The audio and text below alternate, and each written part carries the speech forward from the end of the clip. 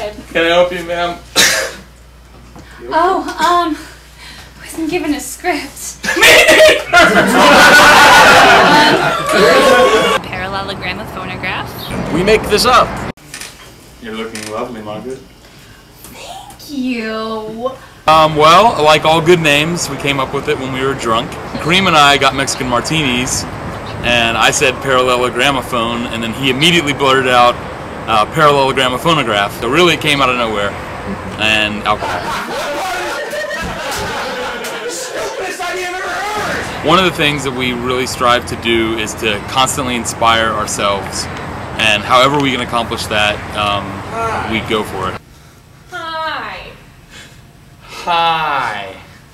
Hi. One of the ways you do that commonly in an improv show is uh, getting suggestions from audience members. Uh, we're gonna do a story for you. Um, to do that, I need to get a suggestion. I think, for me personally, is that I don't have a chance to censor any ideas that I have. So it's this sort of instant act of creation, and once you say something, it's there, and you sort of have to deal with it. Why would modeling agency need a gun?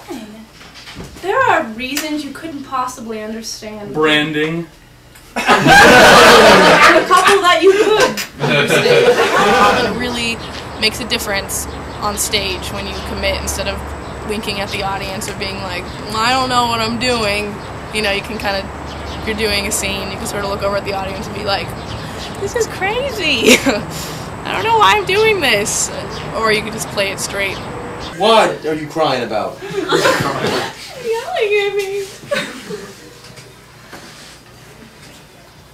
I'm a cop.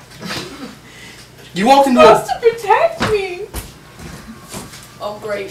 What do you do? I don't know. You take her.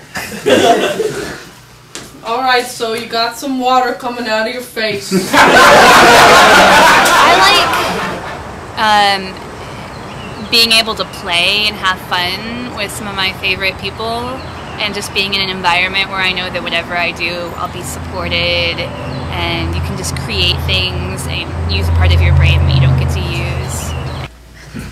Are you guys extras? Yeah. I, uh, I'm pretty much unnecessary in any situation. Sometimes, through whatever magic happens in the warm up, we're all just totally connected, and the story just happens. Like we all feel like we had no part in telling the story. It just we were just following it.